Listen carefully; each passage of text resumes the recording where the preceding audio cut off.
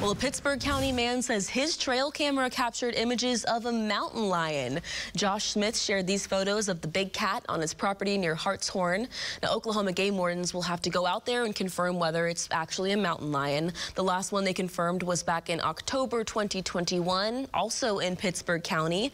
In that case, they determined it was a cougar based on the size of its tracks and stride.